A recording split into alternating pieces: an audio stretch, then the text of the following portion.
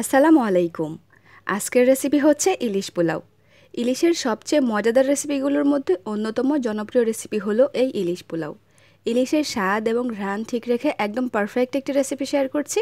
আশা করছি আপনাদের ভালো লাগবে। প্রথমে একটা বাটিতে নিয়ে নিচ্ছি আড়াই কাপ পরিমাণ পোলাওয়ের চাল। চালগুলোতে পর্যাপ্ত পরিমাণ পানি দিয়ে বিশ মিনিট ভিজিয়ে রাখব।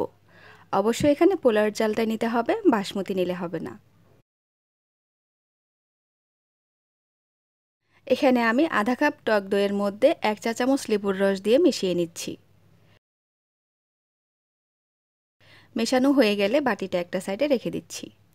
আর আজকের ইলিশ পোলাওয়ের মেইন উপকরণ ইলিশ মাছ নিয়েছি ছয় পিস। এবার চুলায় একটি প্যান বসিয়ে ওয়ান থার্ড কাপ পরিমাণ তেল দিয়ে দিচ্ছি।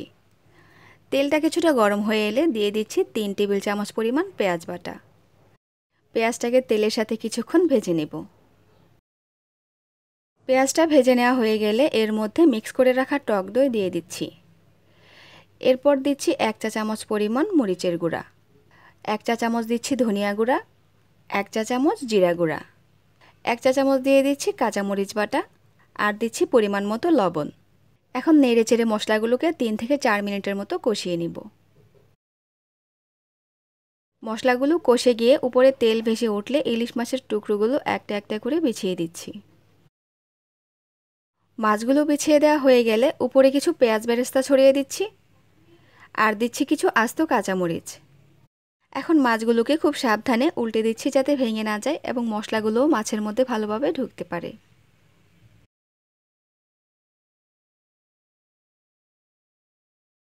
মাছগুলো উল্টে দেওয়ার পর ঢেকে দিচ্ছি। এখন চুলা রাসটা মিডিয়ামে রেখে মাছগুলোকে চার থেকে পাঁচ মিনিটের মতো রান্না করে নেব। প্রায় পাঁচ মিনিট পর ঢাকনাটা তুলে মাছগুলোকে আবারও একটু উল্টে দিচ্ছি।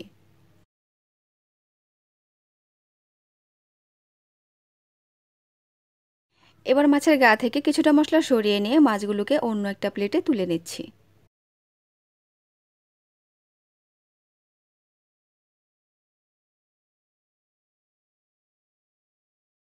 মাছগুলো তুলে নেওয়ার পর মশলাসহ প্যানটাকে নামিয়ে একটা সাইডে রেখে দিচ্ছি।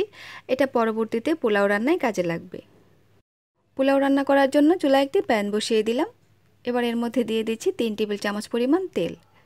তেলটা গরম হয়ে এলে এর মধ্যে আধা কাপ পরিমাণ পেঁয়াজ কুচি দিয়ে দিচ্ছি। নেড়ে চেড়ে পেঁয়াজটাকে নরম করে ভেজে নেব।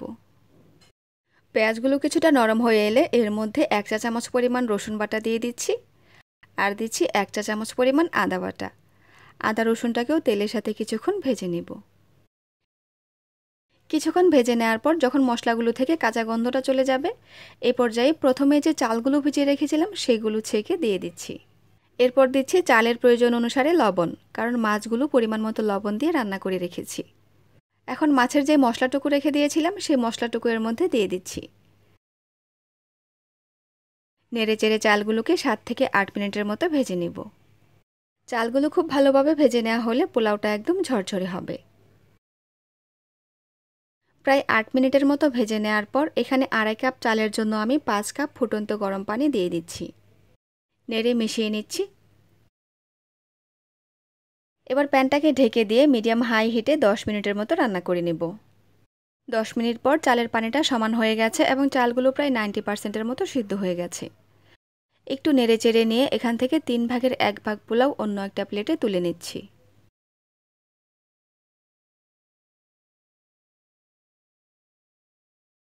এরপর রান্না করে রাখা মাছগুলো বাকি পোলাওয়ের উপর একটা একটা করে বিছিয়ে দিচ্ছি।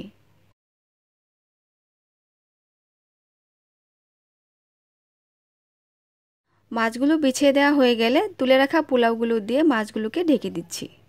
এভাবে দিলে সবটুকু পোলাওয়ের মধ্যে ইলিশের ঘ্রাণটা খুব ভালোভাবে মিশে যাবে। এখন উপরে আরও কিছু পেঁয়াজ বেরেস্তা ছড়িয়ে দিয়ে এটাকে ঢেকে দিয়ে আরও প্রায় দশ মিনিটের মতো দমে রাখব। প্রায় দশ মিনিট পর আমাদের ইলিশ পোলাও একদম রেডি। খুব সাবধানে উপরের পোলাওগুলো সরিয়ে মাছগুলোকে বের করে নিচ্ছি যাতে কোনোভাবে ভেঙে না যায়। দেখুন পোলাওটা কত ঝরঝরে হয়েছে। আমার রেসিপি পুরোপুরি ফলো করে যদি ইলিশ পোলাও রান্না করেন, তাহলে আপনাদের ইলিশ পোলাও স্বাদে ঘ্রাণে একদম পারফেক্ট হবে। রেসিপি ভালো লেগে থাকলে প্লিজ একটি লাইক দিবেন আর আমার চ্যানেলটি সাবস্ক্রাইব করে সাথেই থাকবেন। আশা করি দেখা হবে পরবর্তী রেসিপিতে সবাই অনেক ভালো থাকবেন। সেই কেমনাই আল্লাহ হাফেজ।